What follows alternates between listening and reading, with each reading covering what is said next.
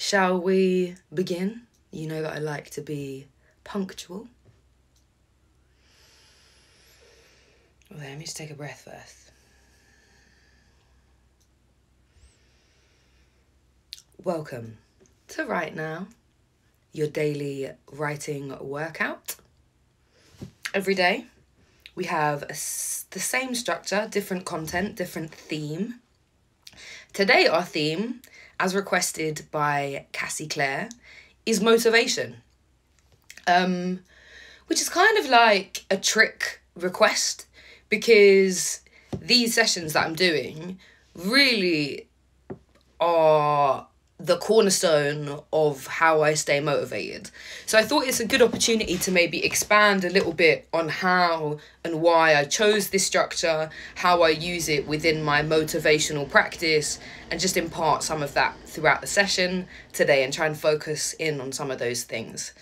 Um, so, um, really, I think motivation is about learning how you learn and learning about what motivates you and helps you stay motivated. So one of the big things for me is having a responsibility like to someone else that I care about is like a big thing for me.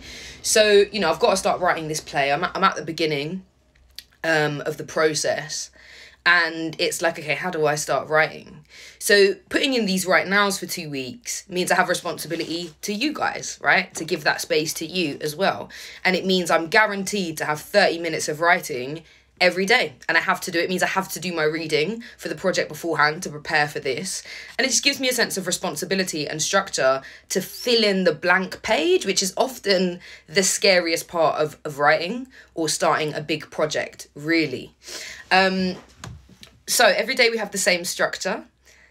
I share a poem with you. We do three minutes of free writing. We then do 10 speed poems back to back. Um, I give you some editing homework. We take some communal breaths. Um, and then we do it all again tomorrow for the next two weeks. So we're nearly at the end of the first week now, actually. Um, so today, um, I chose a prompt from. So again, thinking about motivation. So I have a few cornerstone anthologies that I own. One of them is Being Human by Bloodaxe. Now, what I love about anthologies is I'm dyslexic, so I don't really like reading big things. So I can just flick through them and honestly find a poem that is short. I just go through them. I can find a new writer that I've never read before. I can take them traveling with me. And often when I start a writing process, it always starts with reading just picking up a book and saying like what excites me what's interesting to remind myself that i love poems and they make me feel. Often i keep reading until i laugh out loud or i cry and then i'm like okay that's that's the one. Um i'll talk a bit more about motivational process after i've shared this with you but first i want to share the poem. I always post the poems in my story an hour or two before so that you can read them in advance if you want to. Um, if you just jumped in the chat i'm about to share the prompt poem for today, which is Small Boy by Norman MacCaig.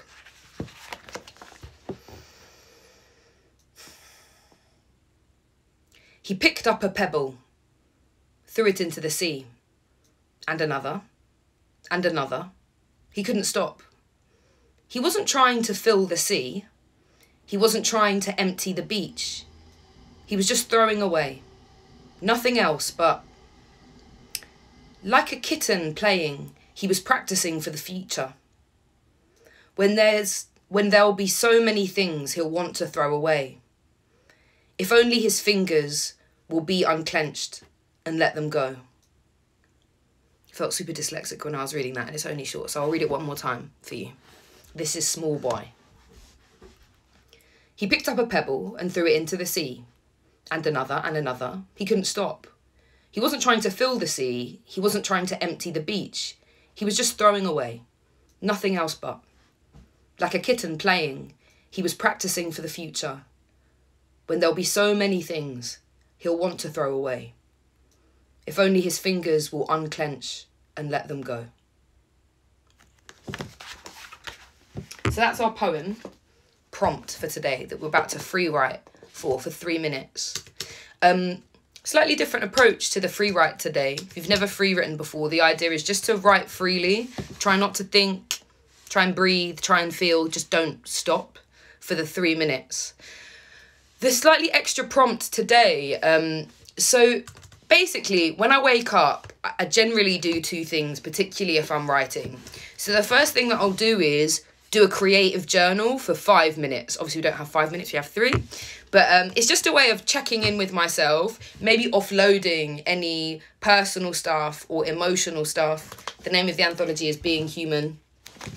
Um, I just try and offload, and it just helps me then go into my 10 minute free write, which is maybe more focused on a project I'm working on after that. And every day when I write in my journal, create, when I say creatively, it could be a poet, poem, it could be prose, whatever, but I'm approaching how I feel creatively. I always start it the same way. So I take a deep breath, and the first sentence is, What do you want? Then I answer that question.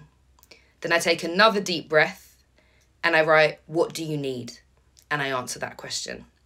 So I just want you to use that as well as responding to that poem. I feel like it kind of relates Take that approach to your free write today to breathe and ask yourself what you want, to breathe and ask yourself what you need. Yeah, hopefully that makes sense. If it doesn't, you've got a second to ask me a question before I set the timer. If you just jumped in, we're about to free write, so pick up your pen. I type loudly, so feel free to turn me down if you feel like you need to. Cool, let's go. Your three minutes start now.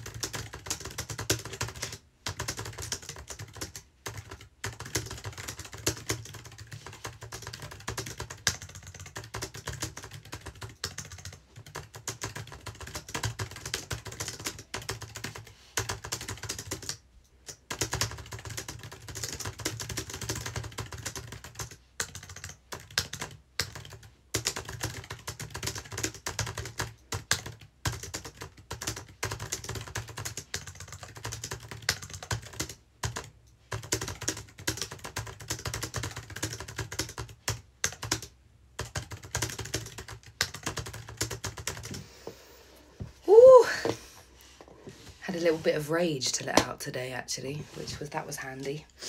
Um, okay, cool. Next up, we've got our ten back-to-back speed poems. Um, so this is always oh my alarm's still going off. this is always how I start any big project. But moreover, with this exercise, um, often if I get stuck on a big creative project, I will do this exercise just because when you're writing a big play or a big TV series, it can become very overwhelming. Um, and sometimes I just need a quick little sharp exercise to remind me like I can write something in a minute. I can write something. Just a reminder like you can do it. You have capacity. It's like, you know, those days when you feel tired and you can't exercise and you're like, just do seven minutes. Just try something. Remind yourself that you are capable. Also, when I start a project, I tend to do a lot of reading and watching of stuff. I tend to start with research. So this little exercise, because it's based around interesting titles, it's a good way for me to like be like, oh, I like that phrase. I like that word. I like that idea. Let me collect those things and use them as titles. And it's a way to explore a subject without too much pressure. Um, so uh, there's a lot of suspense if you've not done these before because you don't know what the exercise is. It's an exercise that I adapted from Roger Robinson's poetry workshops, and it's 10 back to back poems. You've got a minute to write each poem. I say poem, could be a bit of a song, could be a bit of a novel, could be a bit of academic writing, whatever you're doing, could be a bit of who knows what it is, you're just writing stuff. That's kind of how I do it. Um, you've got one minute to write six lines of something, at least don't give yourself an option. You have to write six lines of something. Yeah? Bonus challenge today is that if you are working, you're avoiding working on something, is a good way to think about it. You're avoiding editing something. We all know what it is. You're procrastinating something. Use this exercise to mine into that space loop them together so they're not individual things but one long 60 line thing. I'm really challenging myself to do this because i don't usually take up that challenge but i've been trying to over the past few days yeah? So 10 things. I'll give you a title. You have one minute to write six lines. Hopefully unpacking something but not necessarily if you're not taking on the extra challenge or you can't think of anything. You got any questions? Now's your time to ask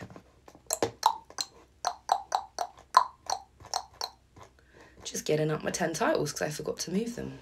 So you've got a bit of extra time to ask me a question. Oh, today the titles are bits of my own writing that I'm doing around this play. So if you keep them as your title, then just credit me, just because it might also turn up in my play and then that would be confusing. Um, but I, I suggest you using them as a point of inspiration and as a placeholder. But if you edit any of, any of these, you know, challenge yourself maybe to come up with a better title it's likely that there will be one. Okay, no questions. Pow! Motivation. Actually, it's so ironic that this is the theme for today because I'm really struggling to be motivated today. I don't know if you can tell, but I'm like, but we move. We move. Time at the ready. Cool. Your first title is Who's Got the Rope? Who's got the rope is your first title. One minute starting now.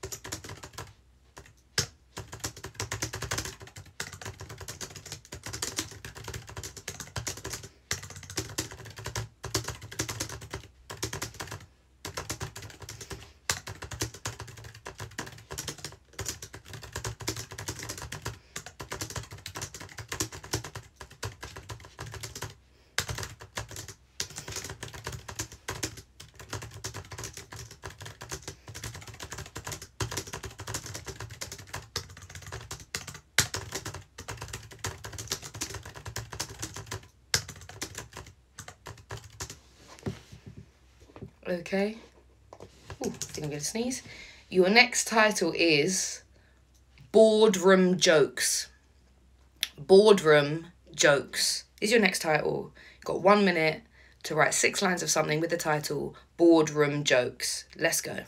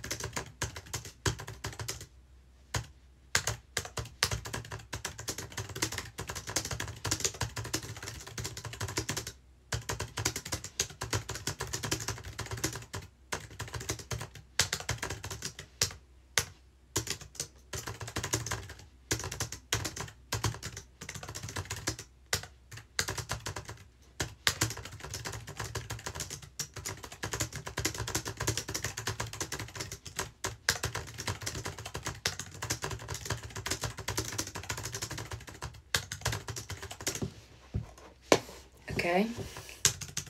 If you just jumped in, you can still write a few poems, well, quite a few poems or things. Your next title is Chicken or Gold? Question mark. Chicken or Gold? Question mark. Is your next title. You've got one minute to write six lines of something starting now. Chicken or gold?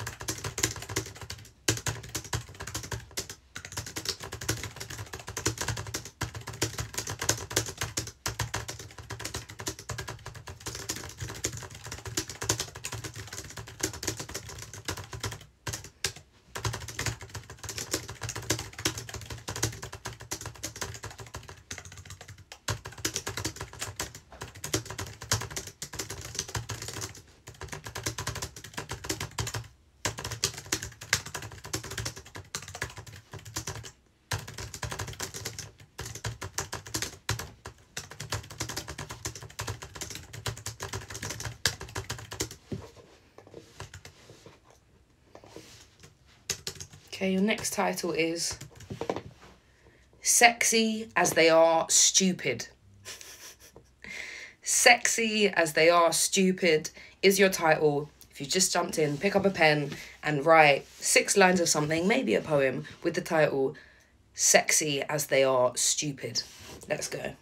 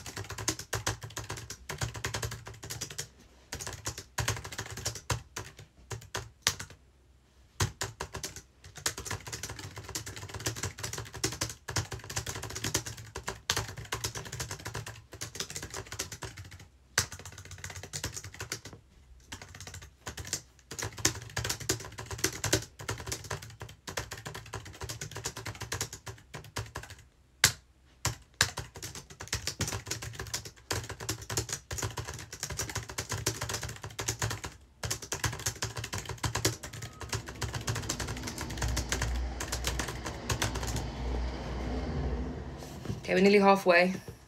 Your next title is Men with Guns. Men with Guns is your next title. Your one minute starts now.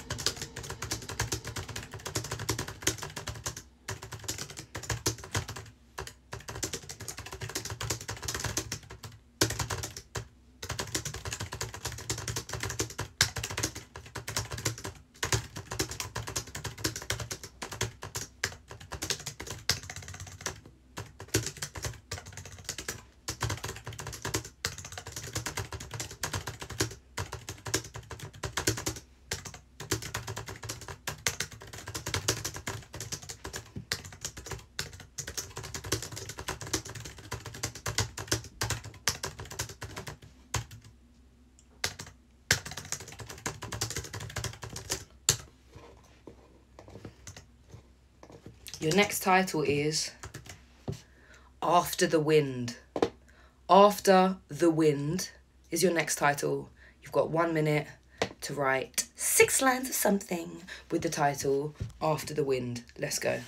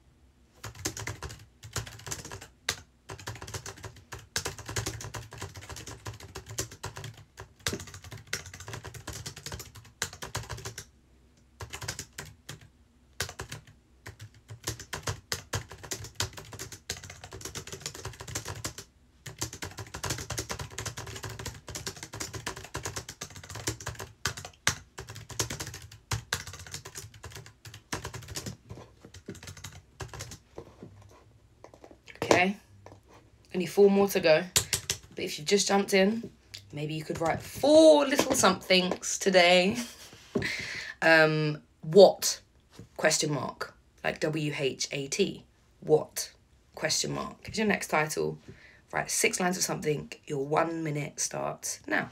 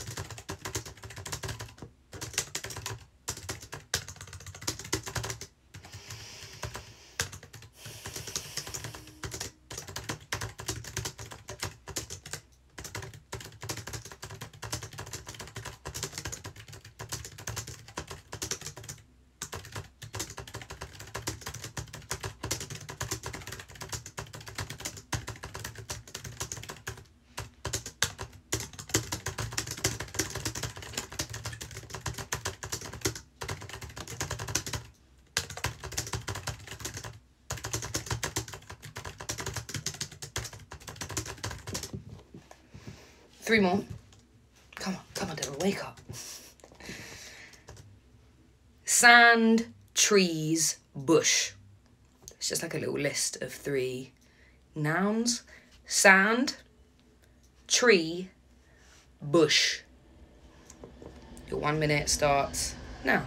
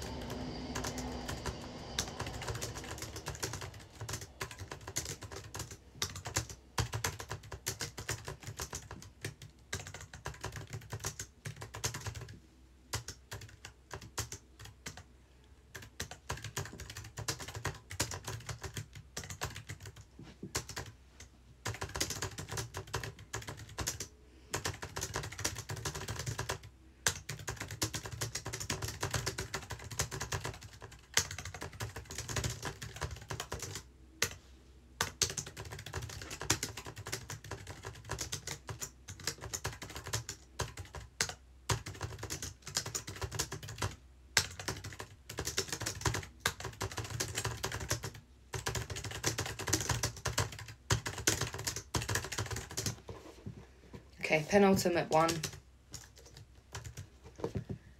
Savage. Just the word savage. Your one minute starts now. Let's go.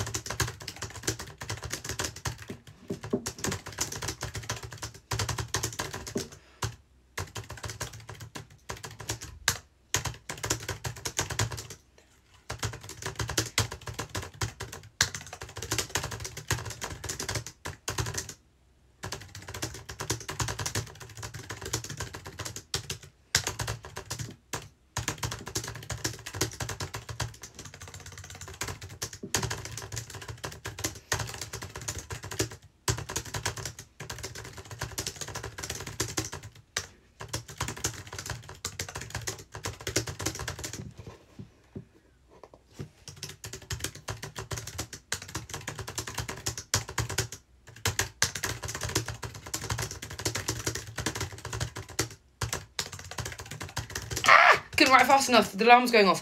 Um, one more. One more. Salt of the Moon. Salt of the Moon is your final title.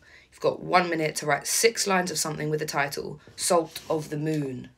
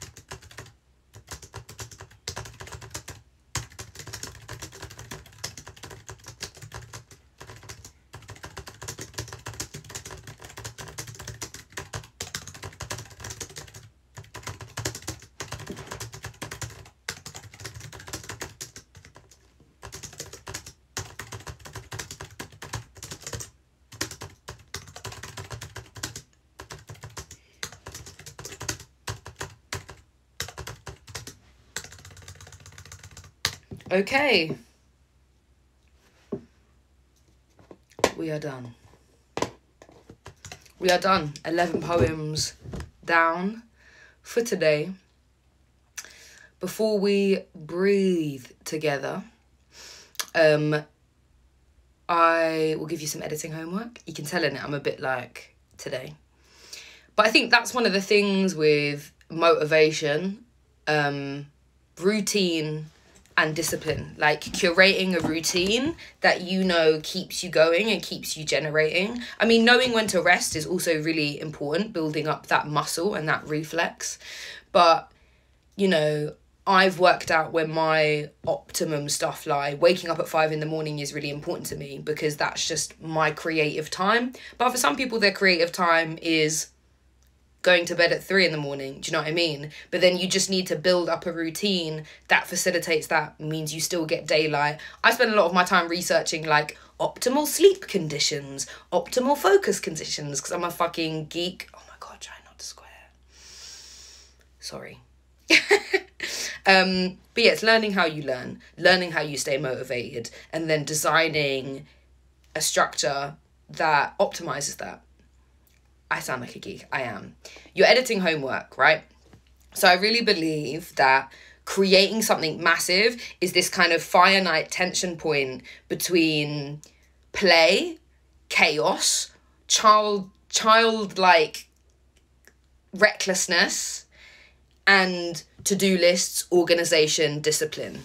Those are like your two things. And I can almost separate them into like your creative head, the person that creates all the stuff, and then the editing head, the person that organizes and refines all the stuff. And I really, though those people have to talk to each other, I try and kind of separate those processes from one another because if your editor, if your organizer gets to involve in the creative mess, it will like push it out the way and you won't it, it's too loud. It's like, why are you doing that? That's stupid. That's look that looks weird. That's dumb. No one wants to hear that.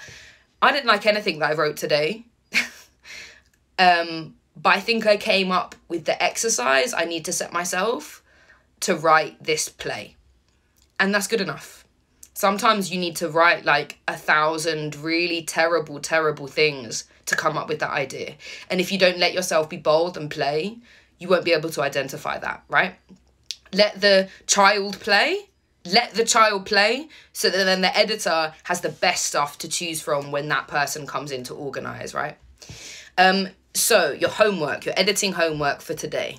Um, I want you to read out everything you've written from today, read it out out loud, and don't let any of it go to waste. Anything that you like, organize it. The way I do it is I copy and paste the bits that I like and I'll put it into a folder that feels like it's under the theme of that content and I'll title it. The first thing I do is I title a project, right? So if you take Right to Rave, which is one of the projects I'm working on at the moment, if anything's about raving, I'll put it in that folder. And when I say anything, even one line, if I'm like, that line is dope, that line is really great. I've got a whole folder full of one liners, but I just organize it into the according folder, give it a title, and I might think of a task. I might think, oh, that's that one line's really nice and it uses, I don't know, sand as a metaphor for love. That's weird, but I just came up with it. Put them all together. And then when I feel a bit lazy and I don't know what to do, I can just go go to that folder and think, okay, let me develop this idea here. And it's basically prepping stuff for your future self. But it also means if someone comes to you with an idea, you can say, for example, when my um when Flipped Eye came to me and they were like, oh, you know, have you got a book? They were like, how many poems do you have? Because I put them all in that one project folder, which was like future collection. I have that folder still now, by the way. I could be like, uh, I have 50 pages worth. And they're like, great, cool, we have something to work with. So um, you've been playful, you've been childish, you've been reckless in this 30 minutes. Now hand it over to your editor and let them organize that stuff into something. Hopefully that made sense. Let's take some breaths. Let's do some box breaths today because I'm feeling really. Um, if you've not done box breaths with me before, it's just a way to get grounded after all this stuff that we've done together. We're gonna hold for four, inhale for four, hold for four, exhale for four, hold for four. We're gonna do that four times. Try and root your feet on the floor if you can, in through the nose, out of the mouth. We're gonna hold. In hold, out, hold, in, hold, out, hold, in, hold, out, hold, in, hold, out, hold.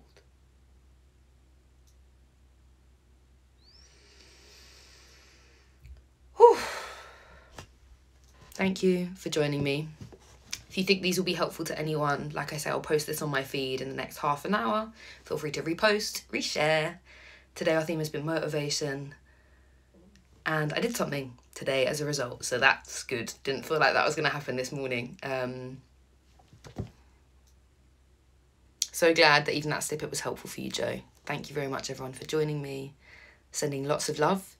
Same time tomorrow, and we're nearly at the end of week one um, out of this two weeks of Write Nows sending you so much love, man. Wish I could, I really could do with a hug today, so. Take care. See you later.